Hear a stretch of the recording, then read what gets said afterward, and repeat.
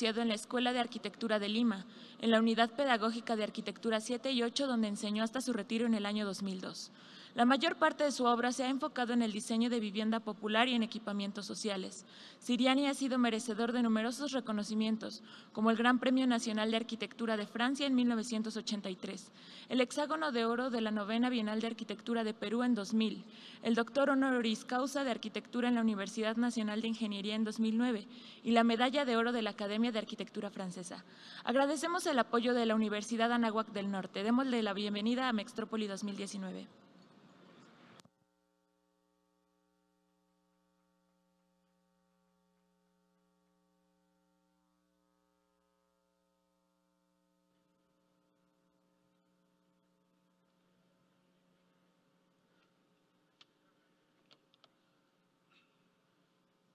Debería apagar la luz para que se vea que no está lleno.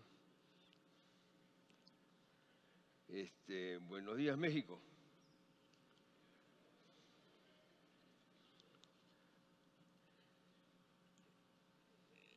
Organizar esta conversación con ustedes era muy difícil porque, no sé si se han dado cuenta, es un viejo, ¿no es cierto? Tengo más de, más de medio siglo como arquitecto.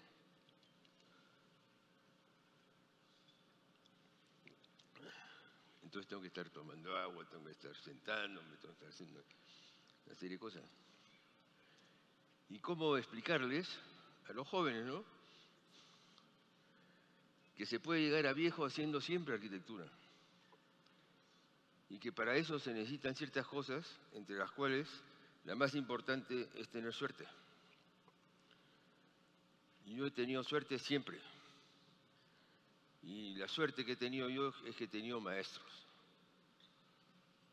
El arquitecto que no tiene maestros, mala suerte.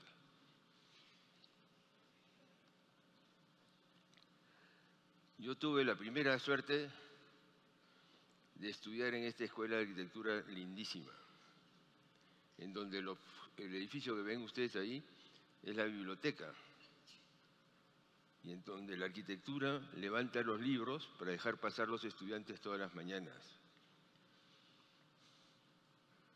Los cinco maestros que tenía yo en los cinco años eran los arquitectos que habían introducido la arquitectura moderna en el Perú. Cada uno un gran maestro. En esa época, que es más o menos después de la Segunda Guerra Mundial,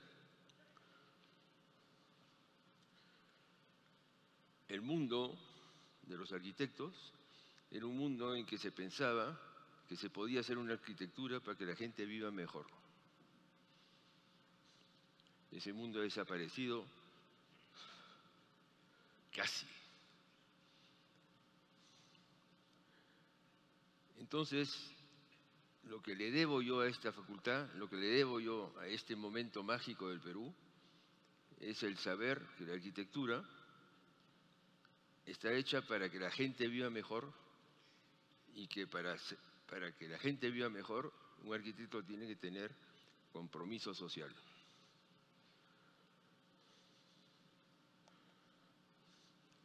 He, separado esta charla en dos porque eh, no se hace de la misma manera vivienda que edificio público. La vivienda es el anclaje de la ciudad ya, dije la palabra ciudad. Ustedes saben, yo soy un tipo reflectivo a lo que pasa alrededor mío, ¿no? En, este festival, cuando hablan de ciudad, desaparece la arquitectura. Yo no estoy de acuerdo. Lo que hace la ciudad es la vivienda, desde la más chiquita hasta la más grande. Los edificios públicos lo que hacen avanzar es la arquitectura. La vivienda hace avanzar la ciudad. Es la materia principal de la ciudad y nuestra responsabilidad primera como arquitectos es hacer vivir a la gente mejor.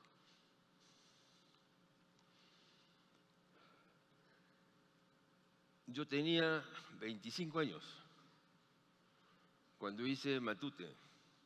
Hasta el día de hoy no he logrado hacer una vivienda en, dos duplex con doble, doble altura, una detrás de la otra. Esto tiene, ¿han visto? Les pongo la fecha para que se den cuenta, ¿no? Para que se den cuenta que algunos de estos proyectos todavía no habían nacido sus padres de ustedes.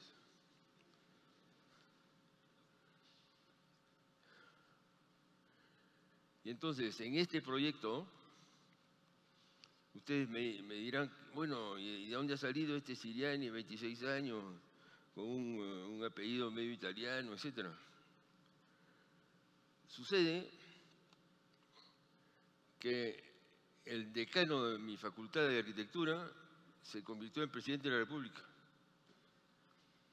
Y como buen arquitecto, normalmente los presidentes ganan las elecciones y recién entran al oficio tres meses después.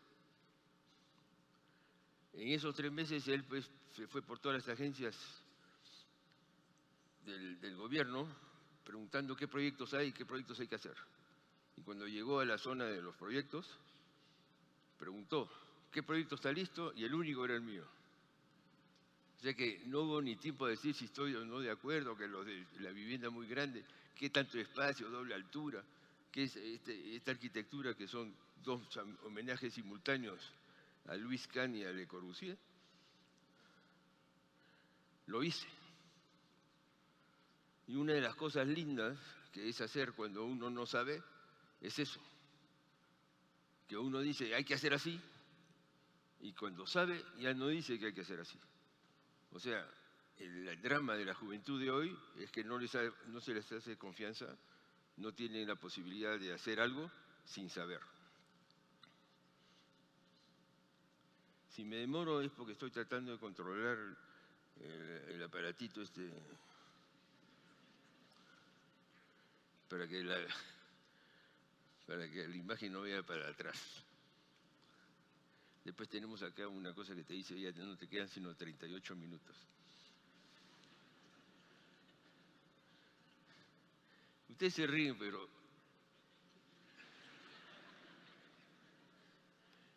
hay que hacer todo eso, ¿no? Ustedes no se han dado cuenta, pero ya pues el, robot, ¿no?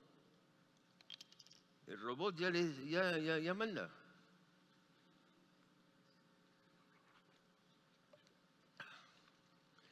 Después, al mismo tiempo de Matute, está San Felipe, ¿no es cierto? Entonces, ¿qué pasa? ¿De dónde aparece San Felipe? ¿Qué cosa es San Felipe? ¿Por qué San Felipe? Este, eh, la zona de San Isidro y Miraflores, en, Lima, es cerca del, mar, entonces es una zona relativamente húmeda, ¿no es cierto? Entonces las familias pudientes, que quiere decir rico, ¿no?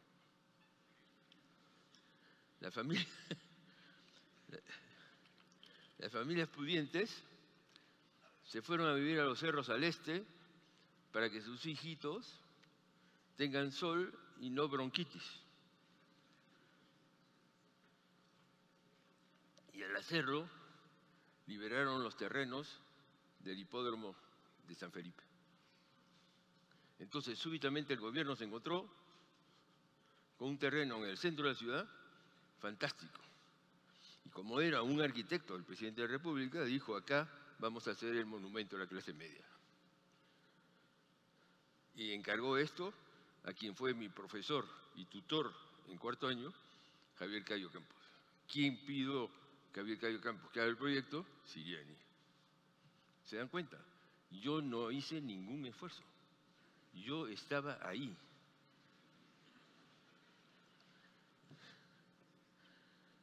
les digo todo esto porque a ustedes tenemos que, les tienen que hablar los arquitectos. No para decirte, mira lo que iba o no. Sé arquitecto. Toma todo el tiempo necesario. Copia. Copia copia. Porque si no copias no aprendes. Eso es lo que no sabe la máquina.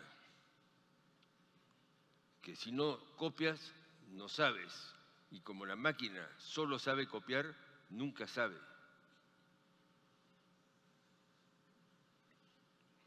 Ya estoy desviando. Va a pasar. Va a pasar constantemente. Por ejemplo, cuando yo hago Matute, ¿no es cierto? Y que yo he estado criado, he nacido con la modernidad, hago, no sé por qué, una planta paladiana, que me enteré pues 20 años después que quién era Palladio, ¿me entienden? Entonces, esta planta paladiana hace que entre dos avenidas hace una esquina, ¿no es cierto? Nadie ha podido construir en ese espacio, porque ese espacio es defendido por la gente que vive ahí. O sea, a los que viven en las cuatro torres o en las casas, en las casitas duplex, nadie les va a quitar el espacio verde. Van a verlo si llego, que, más tarde yo estructuré todo un pensamiento urbano que se llama la pieza urbana. Ya vamos a llegar si me da por hablar menos.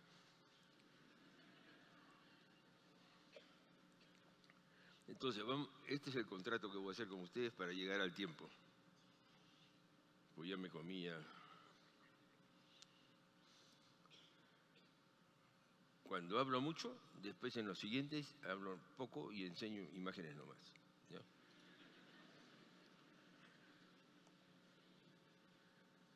¿Se dan cuenta? Ahora, hay cositas escritas. Es porque yo siempre hago ese contrato con el público, ¿no es cierto? Tienen que leer, pues. Entonces ya no necesito hablar, ¿no? No como ayer que llegó una película, ¿no? Y ya estaba todo y el tipo seguía hablando.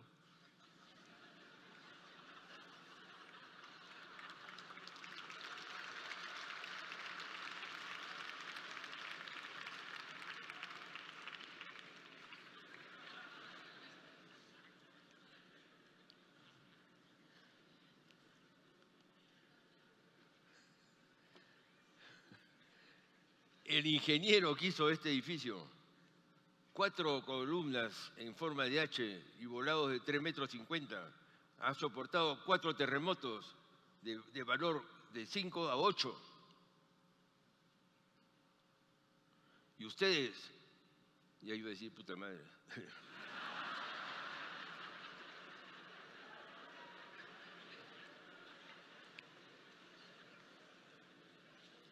Y ustedes que han tenido a Candela y a, los mejores ingenieros, ahora los veo hacer edificios con, con, pinta de gringo. Candela, que ya está muerto, debe estarse revolcando.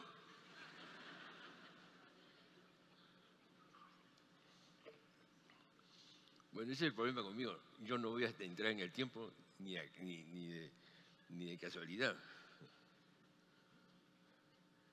Ahora, las calles aéreas, eso sí tengo que decir. Me di cuenta, al analizar 40 años después mi obra limeña, que yo ya había tomado decisiones que han gobernado mi trabajo durante años. El hecho de caminar en el aire, ¿no? En una pasarela, en un puente, el hecho de, de, de ir de un lado al otro contra la gravedad, ha siempre, siempre ha fascinado mi trabajo. Después ha sido cada vez más sofisticado, más difícil, más fácil porque yo ya estuve en Francia, en donde los medios son más grandes, ¿no? Pero esencialmente la calle elevada, por ejemplo, es un tema. Después están los puentes, salvar luces, enmarcar el vacío. Enmarcar el vacío sigue apasionándome. O sea, yo no podría ser mexicano. A veces se quedaron calladitos. Porque a mí no me gusta el muro.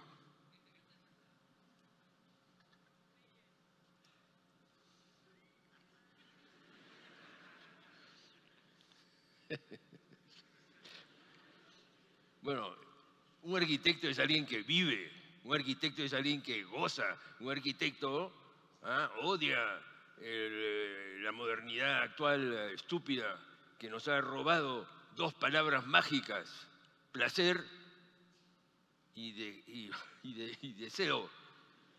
Si ustedes entran en un cuarto y alguien dice paseo deseo, usted cree que está una película pornográfica. Mientras que nosotros vivimos de esas dos cosas, deseo y placer. Entonces, si yo vengo acá y parezco más aburrido que lo que digo, traiciono la idea de ser arquitecto. Ah, ya me, ya me indigné. Entonces, ¿qué pasa? Los, los, edificios estos, los, 14 pisos, 15 pisos, están sobre, sobre, sobre tres pisos de alto. Y entonces, en la época, siempre los ladrones, el terrorismo, siempre hay una razón para quitarle a la arquitectura el hecho de que tiene que ser agradable y apetitosa y que debe llamar para que la gente venga. Hoy en día la gente se muere de miedo. Yo he estado en una cena en la que los dueños de casa viven detrás de un muro de nueve metros.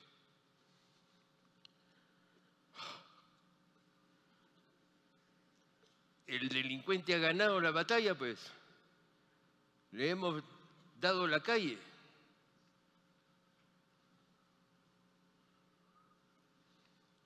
La arquitectura que uno hace es para que la gente entre, que sea fluida. La arquitectura moderna es fluida. La arquitectura moderna está abierta al infinito. La arquitectura moderna es libertaria. Le jode que le encierren.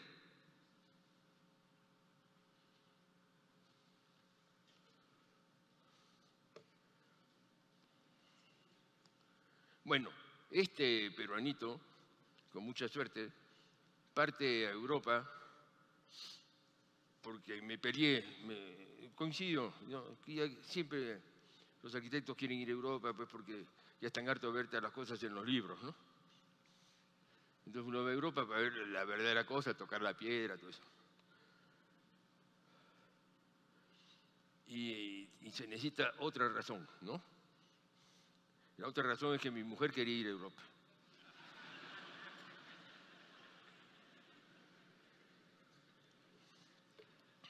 Porque eso también, ¿ah?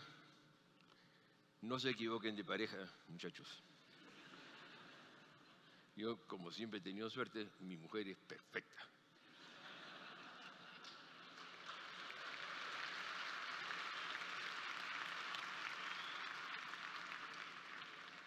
No voy a llegar, ¿eh? no voy a llegar, hay que prevenir. Adrián, disculpa, ¿eh? está muy bien, muy bien organizado tu festival, pero yo en 35 minutos no entro.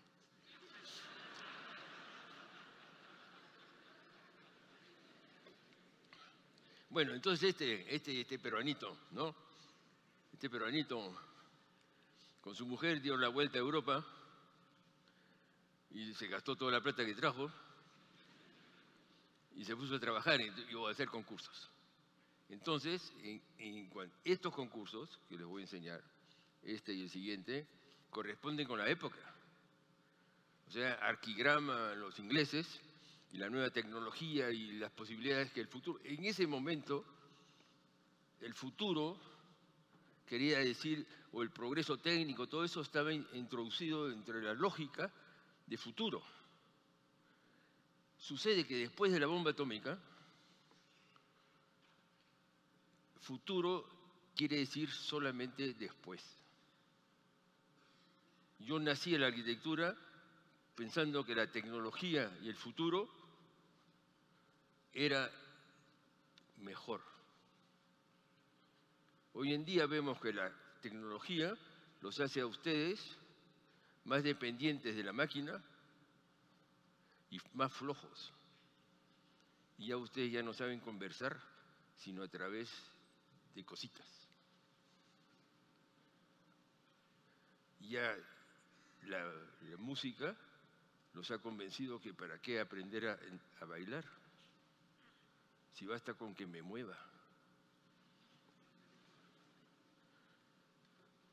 Y a las chicas les gusta más.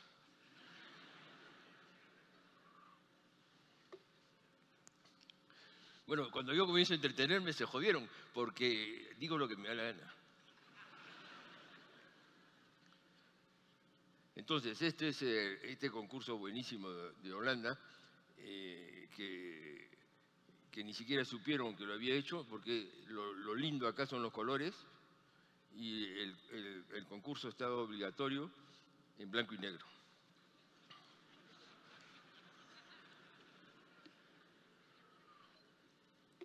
Este aeropuerto también, ese fue ya, ya no un concurso muy grande, lo hice con un, asociado luxemburgués. Eh, teóricamente lo ganamos, pero nunca se hizo. Nunca se hizo ni se publicó, porque en esa época, han visto, fíjense en los años, ¿no? Y tratan de ver en qué edad tenía el abuelo, ¿no? Fíjense en los años les prevengo que las pasarelas y todo esto no existían en los aeropuertos.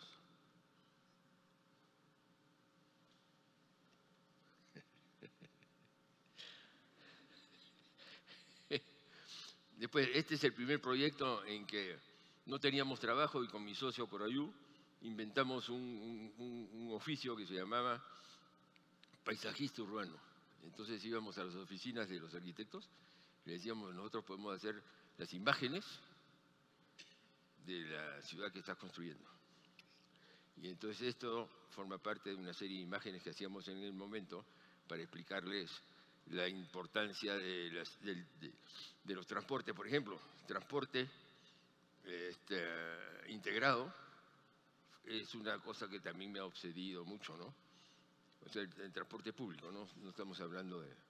Nunca me ha gustado el hecho de que el transporte público sea en, su terreno. A mí me da miedo el subterráneo. Por eso es que con Perro, que me cae bien, porque él está tratando de llevar luz al subterráneo. Y acá está pues la imagen máxima, ¿no es cierto? ¿Han visto la época? 1925. Hoy en día en el mundo no se hacen viviendas tan buenas.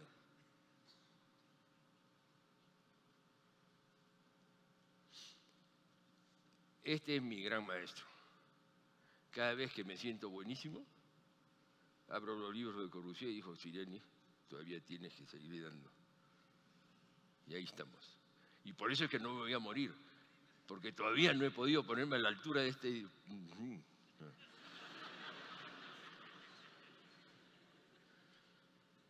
Y entonces ustedes no tienen idea de lo que es ese descubrimiento con este pabellón, ¿no es cierto? La igualdad entre lo vacío y el lleno. O sea, se trata de la misma manera un vacío que un lleno. Y entonces se crea esta novedad. Antes se decía interior y exterior. Después del pasaje de Corbusier se dice adentro y afuera, que son conceptos no físicos, sino mentales. Concurso hecho basado en este, esta misma lógica, ¿no? La equivalencia del vacío con el lleno y comienzan a aparecer las grandes ventanas urbanas, comienza a aparecer toda esta macroestructura, toda esta forma que corresponde con la época. La época tecnológica da cabida después a una época megaestructural y a cada vez sin traicionar sin traicionar, hecho edificios de su época.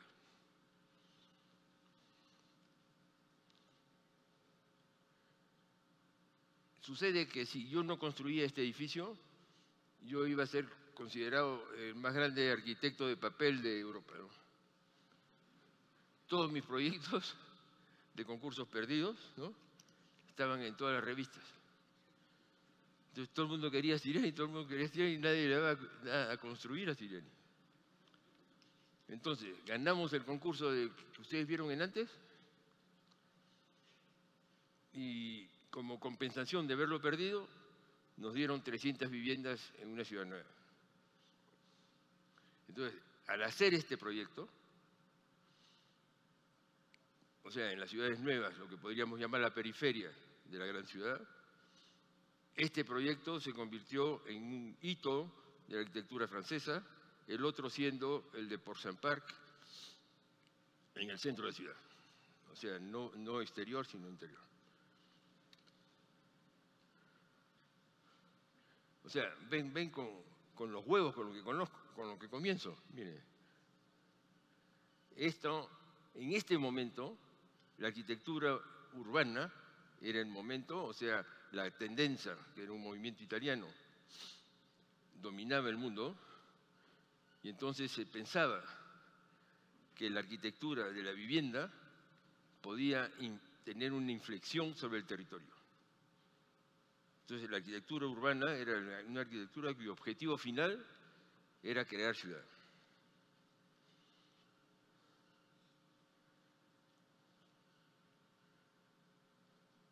Esta foto nunca sé qué decir. Y siempre la pongo.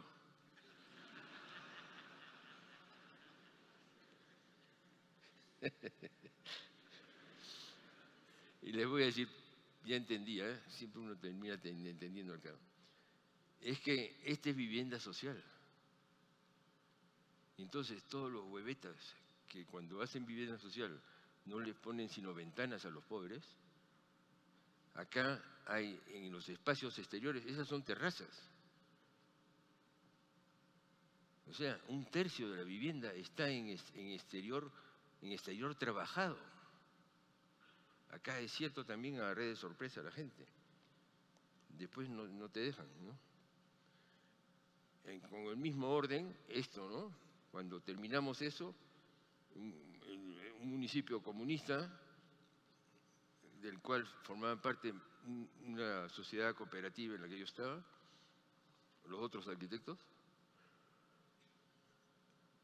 dijeron, ¿quién tiene tiempo para hacer este proyecto? El único que tenía tiempo era yo. O sea, no sé si se han dado cuenta ustedes, pero yo no tengo clientes. Mis clientes son todos arquitectos. Es, es igual, es una pieza urbana, etc. Las piezas urbanas es un periodo entre 75 y 85 en que he construido, porque tenían programas importantes, mínimo 300 viviendas, entonces, para hacer una pieza urbana se necesitan cuatro puntos. Uno, identidad exterior, o sea que se puede apreciar lo que es de afuera. Dos, un adentro, no un interior, un adentro. Una figura simple, o sea, una arquitectura muy rica, pero una escuadra, una línea, cosas muy simples, como figura. Y toda la complejidad arquitectónica. Y por supuesto, antes de los ecologistas y todos estos este, que, quieren eh, convencernos ¿no? que un árbol es mejor que un, arquitecto. Lo cual es cierto. Este, ya vamos a hablar, eh, es cierto que no hay pues preguntas, ¿no? Pues a mí me encantaría pues que haya uno de esos desgraciados que le gusta hacer las preguntas horrendas, ¿no? que siempre, ah, o sea que a usted no le gustan no sé qué cosas, ¿no? Comienza así a enemistarte con medio mundo. Entonces, un tercio verde. Un tercio verde me parecía como fundamental para que cualquiera que sea una operación de cierta envergura no contribuya al déficit verde de la ciudad. O sea, la responsabilidad del arquitecto es traer suficiente verde para no añadir, tus viviendas a gozar de un verde ya existente.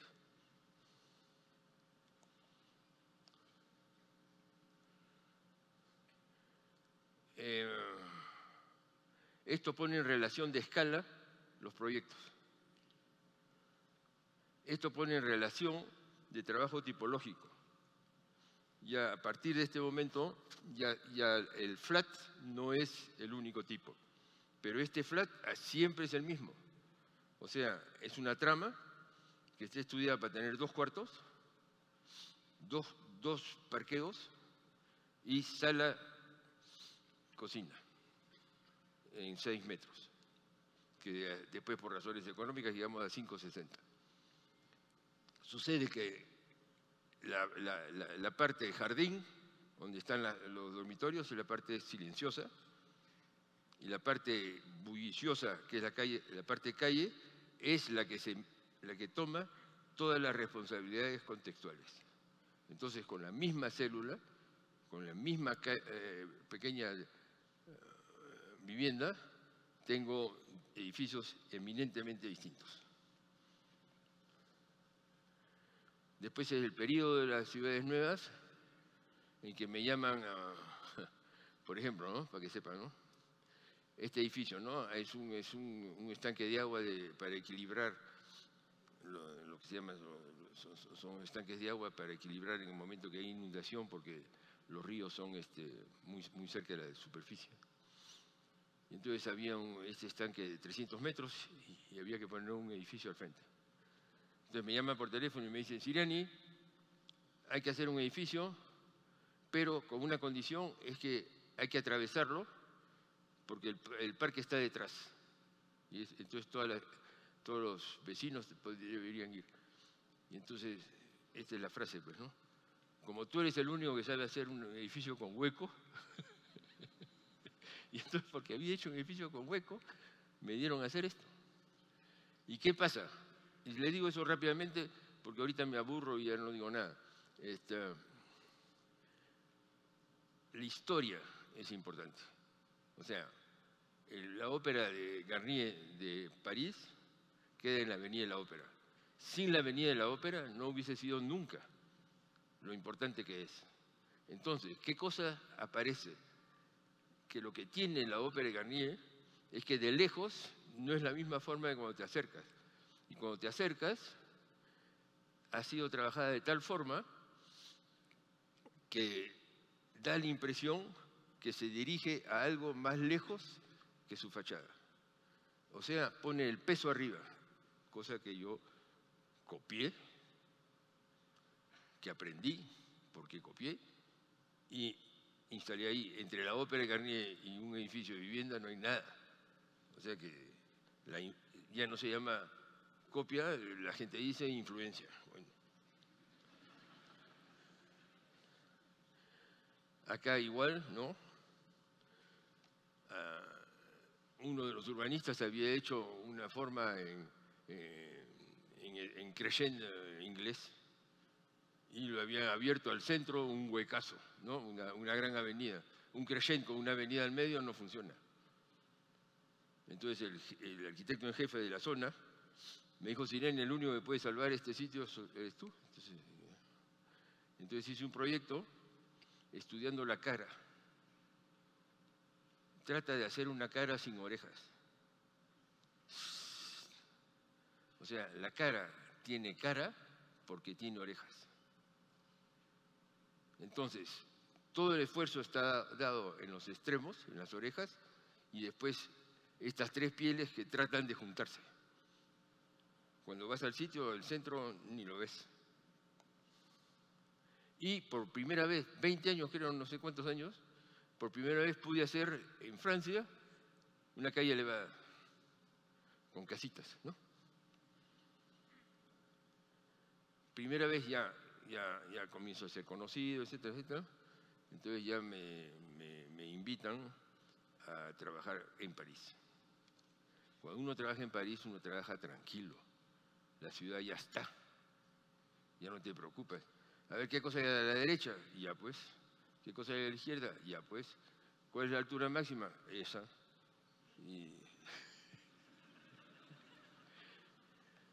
¿Comprende? Y después, en el centro de las manzanas, ¿qué cosa hay? Jardines.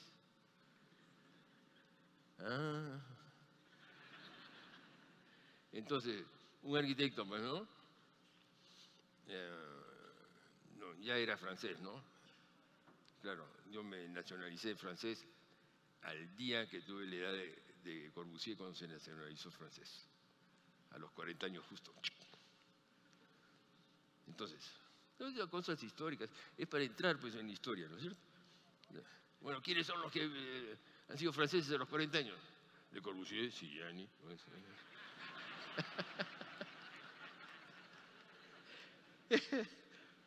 Salud.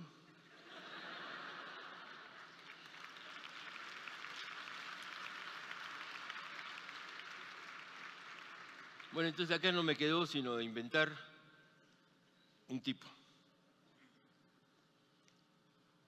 Y el tipo tenía que ser identificable, ¿no es cierto? Entonces, los, colores y la gran trama ayudan a que la gente diga, ¿no es cierto?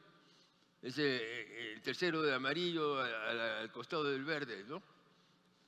O ves ese que está con no sé cuántos. De una cierta forma, lo único que le quedaba al arquitecto por hacer en París es darle personalidad a la vivienda. Y al mismo tiempo resolver un problema, no, no resolver, resolver un problema nuevo, que es la, personificación de la televisión en la ciudad, en la casa, y, y, el hecho de que con el triunfo de reconocimiento de las mujeres, simultáneamente para no perderlas, se ha aceptado que se trabaje en la casa. No habían pensado en eso, pero bueno. Entonces, este tipo permite, ¿no? Ah, voy a usar el, el terrible. ¿No? Este es el balcón identitario, ¿no es cierto? Después, este es el balcón cuyo, cuyo origen viene del hecho de que yo hacía dobles alturas siempre y que las mamparas de doble altura nadie sabía cómo limpiarlas. Entonces decidimos, siempre es mucho más simpático decir decidimos, ¿no? ¿Se dan cuenta, no? Pues yo dije, no sé cuánto es un huevón. Decidimos introducir, ¿no? El espacio de trabajo en balcón de la doble altura con control sobre la sala de los niños en los altos. Entonces, la madre o el padre, porque ya los padres ahora ya quieren, quieren todo, eh, no pueden parir, pero si pudieran, ¿no?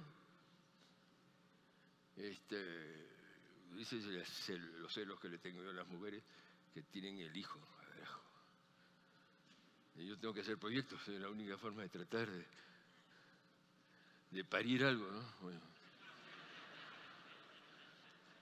Bueno, entonces hay esto y después en, esta, en este gran espacio, la escalera, la escalera teatral. Yo siempre me voy a acordar, siempre me voy a acordar, yo viví en una casa de dos pisos, ¿no? Que para mi primer smoking estaban mis hermanas y mis padres abajo y yo bajaba la escalera. Y casi me rompo el alma porque uno cuando es joven, ¿no? y baja escaleras, este, no mira los pies, pues no mira nada, tan emocionadísimo. Entonces, esta escalera, pensando en que casi me mato, tiene el descanso en balcón, que hubiese sido lindo, ¿no es cierto? Bajas un poco, esperas ahí que todo se remula y después bajas el último tramo ya con poco peligro, ¿no? Entonces, esta escalera y estos dos espacios han creado este espacio. Vivienda que después he repetido, ¿no? Porque una cosa que se ha olvidado el mundo arquitectónico y de las escuelas, acá hay un director seguramente, un amigo, que eh, en vivienda primero es el tipo. Cuando uno va a hacer una vivienda, primero, ¿qué vivienda quiero hacer? estas viviendas producen un edificio y esos edificios producen un conjunto y esos conjuntos una ciudad.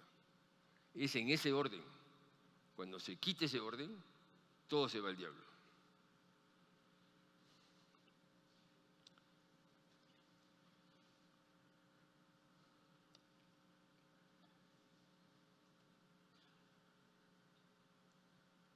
Este es un,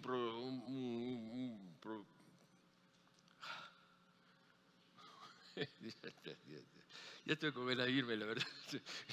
No, he comenzado a enseñar nada.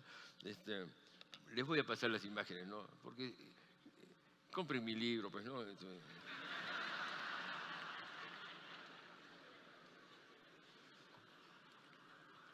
No, pues las imágenes he pasado una semana escogiéndolas, o sea que eso de todas maneras las paso. No, pues ya me quedan cinco minutos. Acá hay una cosa después que te dice, Bueno, acá se inventó eh, el, edificio permeable porque las casitas estaban muy cercas y tenía que entrar la luz. No obstante, las necesidades de, densidad del proyecto. Y entonces ahí ven como del flat, en donde se trabajan, cuando es un flat, se trabajan las diagonales, se pasa a la oblicua, cuando, cuando se hacen los triplex.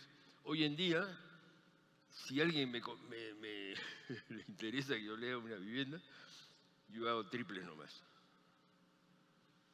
Yo triplex nomás.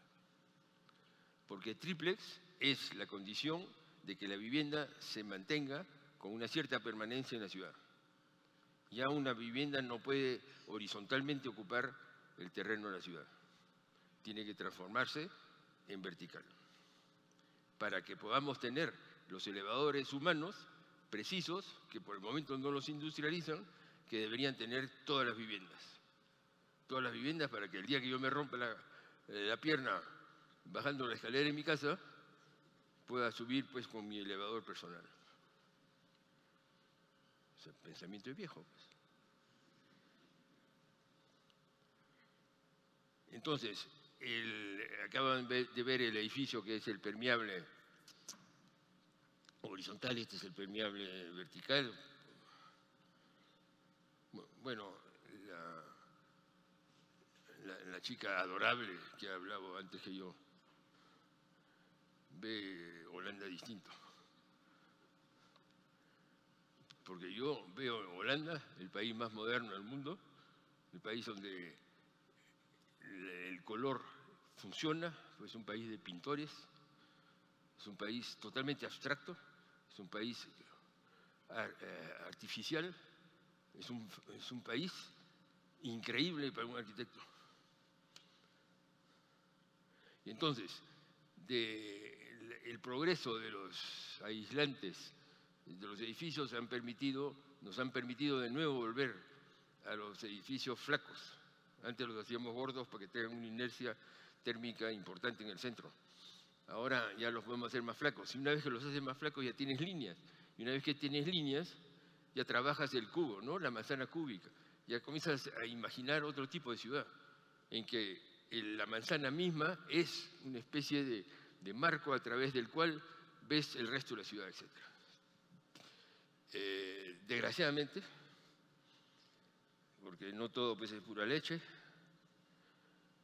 ah, el alcalde con el que estaba haciendo eso perdió las elecciones y al día siguiente se acabó el proyecto. Felizmente, mi sobrino se casó, mi sobrino que es este, como mi hijo, y entonces le regalé el proyecto de su casa playa. Y hice en casa lo que estaba haciendo con el edificio. O sea, me vengué.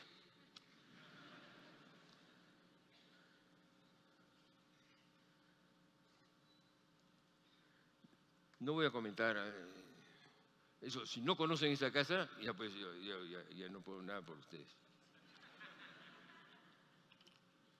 La verdad. ¿Comprende? Quiere decir que ya los gringos se los comieron a ustedes culturalmente. Yo que creí que los mexicanos eran orgullosos, ¿no?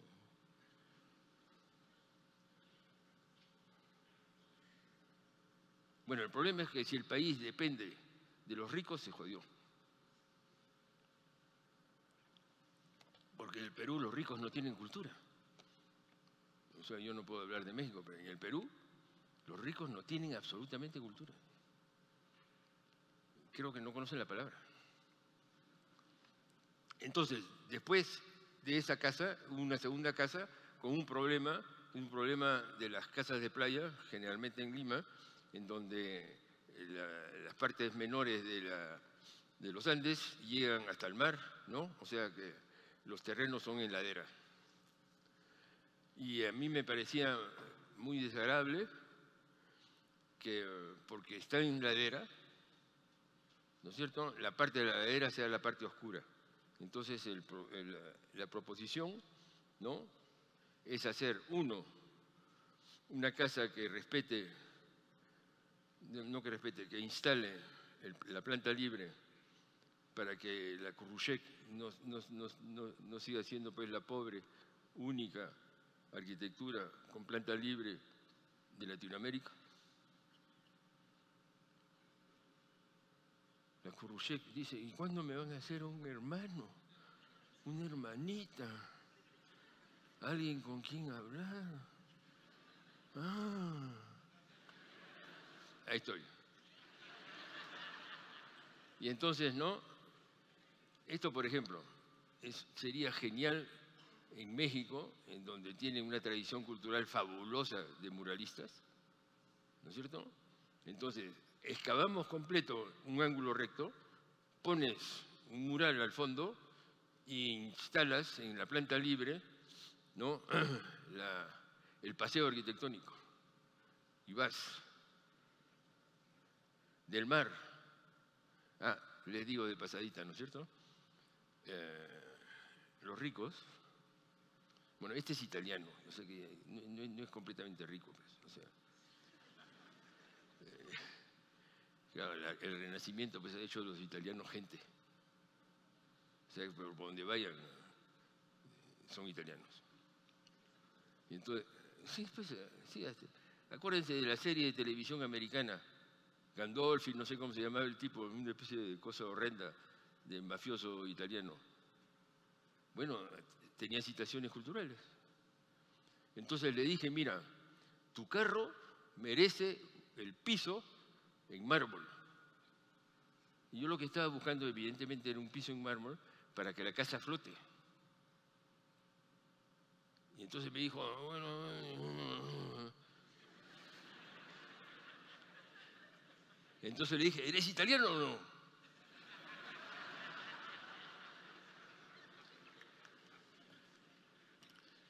Respuesta, ¿cuánto cuesta?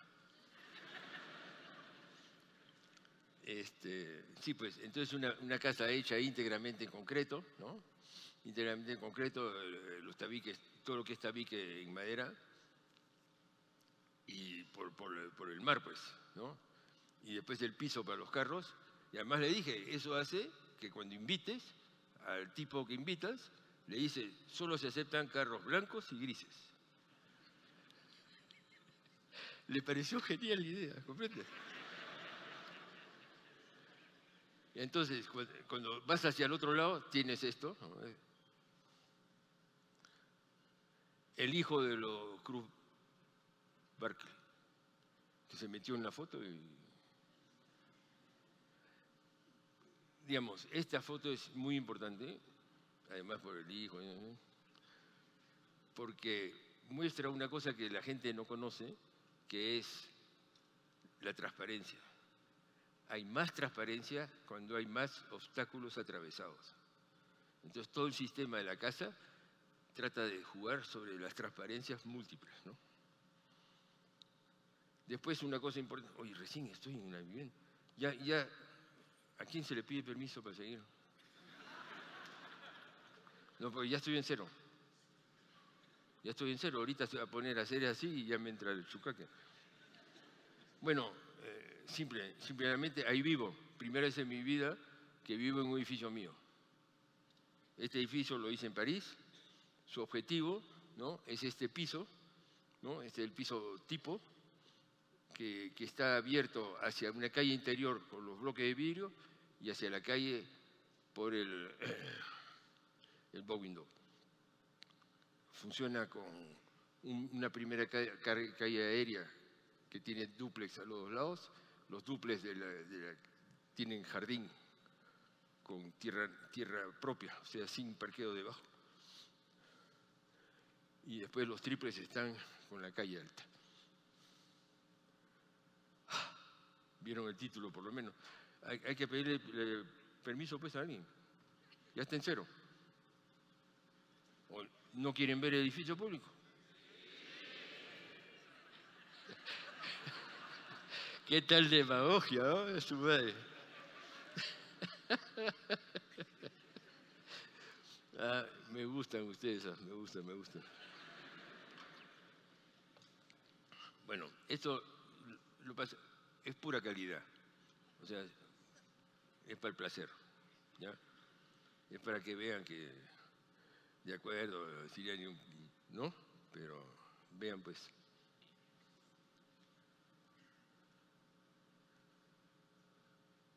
Esto, por ejemplo, lo voy a repetir después con la vivienda, ¿no? O sea, el espacio es paralelo a la fachada, a la fachada y es, es la frontalidad que le da la luz. Siempre el edificio público, generalmente los que hago, no aparecen muy cerrados por fuera, pero son extremadamente luminosos por dentro.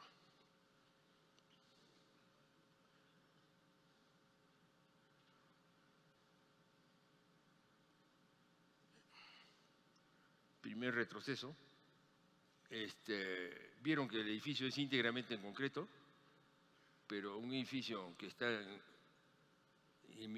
totalmente en concreto no puede salir a la ciudad, parece calato. Entonces este es su vestido. Hay la fachada azul, la del exterior, la fachada interior que es blanca, los cuerpos son, cuerpos completamente separados, ya estoy, ya estoy trabajando una lógica que se va a llamar típico y atípico, que no tengo desgraciadamente tiempo de explicar. Le explicaré en la conferencia de mañana. ¿Te gustó? Está pues el director de la escuela, está ahí. Bueno, después esta frase que en, inglés es buenísima, ¿no es cierto? No, no sé si la leen, ¿no? es el, aire vacío, ¿no? Empty air. Es, una, es, una, de las frases tan, tan, tan fuertes, ¿no? Como, como la de Barragán, que es este, el sonido sereno. Es cuando, cuando se llega a ese nivel plástico de la poesía, a mí se me caen los huevos. Este es el historial muy, muy importante. Este no lo voy a comentar con chistes porque no es chiste.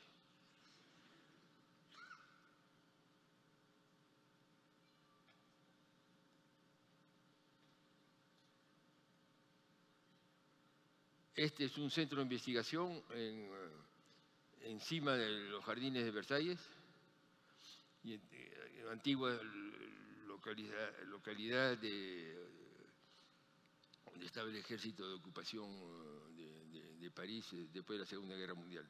Y una cosa que yo aprendí siendo hijo de general de aviación, que los militares tienen los mejores profesores de geografía, porque el militar tiene que instalarse en un sitio en donde él tiene que ver, pero no ser visto. Entonces este edificio ha seguido ¿no? la, ortogonalidad, el sistema escalonado, todo el sistema usado por los gringos, porque el jardín de Versalles no se ve. Es lo único que he copiado los gringos. ¿Qué los gringos, no? Y entonces ahí tienen, ¿no? El sur, ¿no? La, pared, la pared al sol es una pared con, bien distinta que el este-oeste, que son eh, la alegría del corredor central, ¿no es cierto? lo que se puede hacer con el concreto, pues el concreto es una materia fenómena. ¿no? Ah, no les he dicho, ¿no? No, no me gusta el fierro. Y no me gustan los ingenieros que ponen diagonales en todos los edificios de los arquitectos. No me gusta el fierro. Cuando lo toca está frío siempre. mientras que una columna de concreto cilíndrica, redondita, que la agarras, te la llevas de abajo para arriba, le dices, ven conmigo, con el fierro te lo metes a dónde.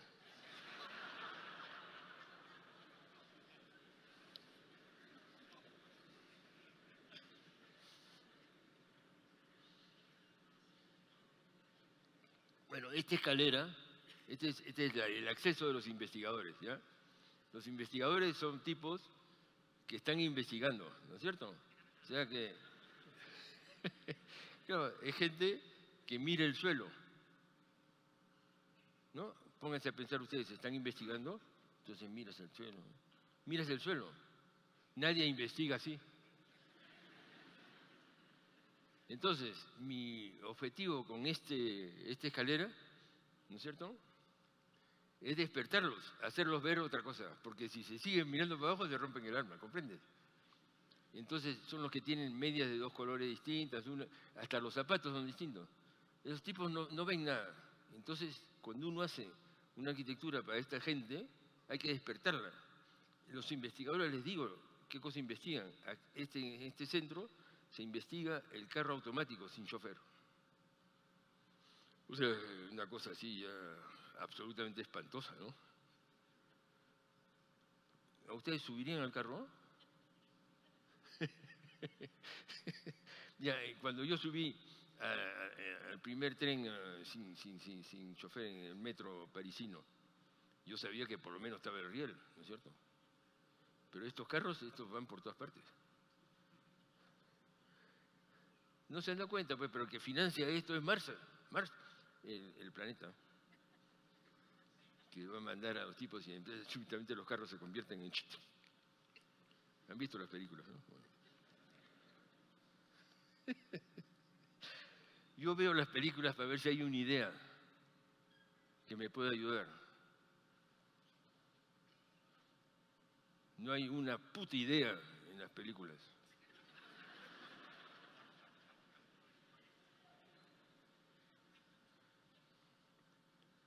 Palacio de Justicia tampoco lo voy a comentar porque es fundamental, es una cosa importantísima. Es el proyecto más grave que he hecho en mi vida. Si me invitan una segunda vez, les hago una conferencia sobre, este proyecto nada más. Ahí está el encuentro entre lo atípico y lo típico, ¿no es cierto? Para que sea bien claro y para, digamos, es para que los que van a estudiar mis edificios cuando yo esté muerto. Este, el típico tiene concreto blanco y el atípico gris. Y el atípico tiene gris y fachadas de, de vidrio esmaltado, que ya vieron azul en el museo.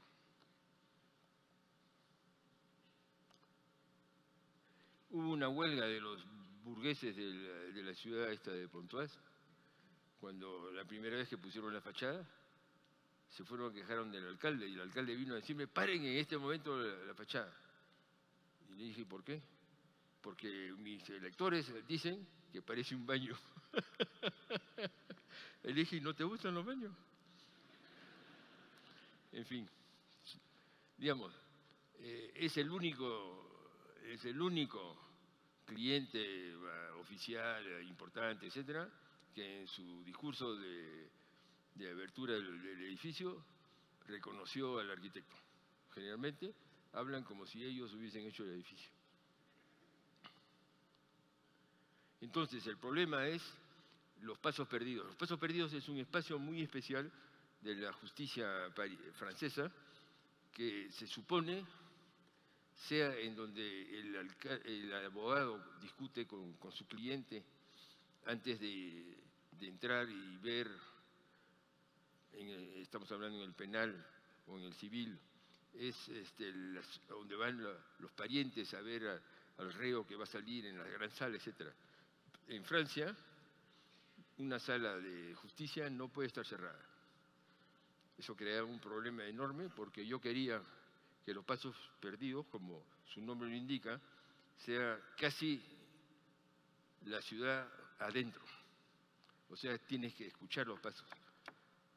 Y al mismo tiempo los pasos, si se escuchaban, ¿no es cierto?, iban a crear los problemas de sonido dentro de la sala. Entonces estos cubículos que ven son controles acústicos para permitir que las puertas estén abiertas y al mismo tiempo no se, no se oiga lo de los pasos perdidos dentro.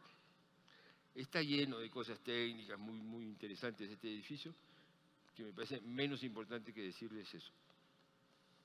O sea que no digo nada.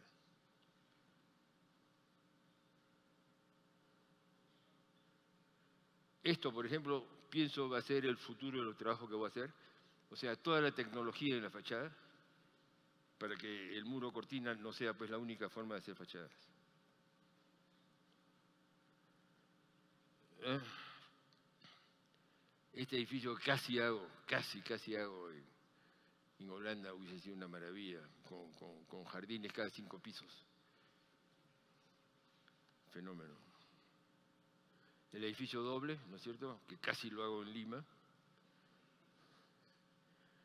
el edificio permeable que casi lo hago en Lima, o sea, con triplex y, economiquísimo, ¿no? Y además los humildes iban a vivir en, el mejor edificio de Lima.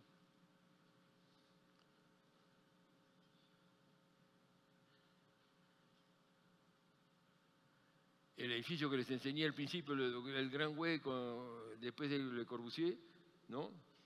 Estaba ahí horizontal, y después me he dado cuenta que lo he hecho a la vertical, pero, es siempre el mismo Siriani. Ya, se acabó.